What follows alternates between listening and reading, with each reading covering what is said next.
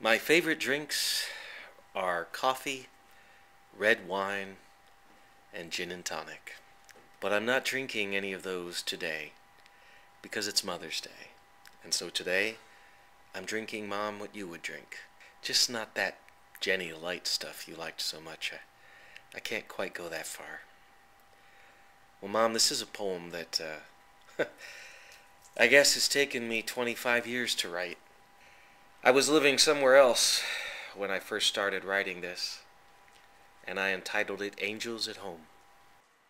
I live with cherubs in a ghost house of old luggage and former plans. Walls dad stuffed with insulation, keeping winter out, surrounding us with a warmth that could have only come from you. I climbed the stairway where you took a tumble, with bones and bottles that might have broken, were it not for the troupe of guardian angels who shadowed your every step. I romp with your grandsons in the room where it all happened, where I was shuffled out the door when the doctor called, and Dad wrapped his arms around you. I am Monster, Mustang, Mountain now, on the carpet where we danced the bump, before the cancer bed ruled the room, and Dad read the Bible to you in the dark. I pull my boys close, knowing they will never know the warmth of your breath on the back of their ears, the comfortable shelter of your lap.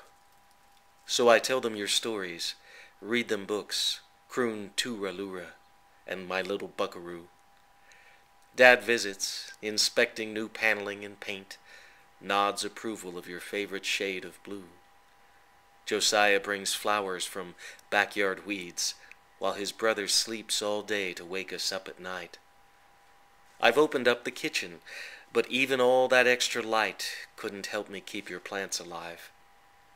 It's an art I would have liked to learn from you, along with other tricks you knew, like giving life, or hearing love when your man hasn't said a word, or maybe conning death into granting a longer stay, dancing with your bags already packed as if you couldn't give a damn, and leaving angels behind you when you went away.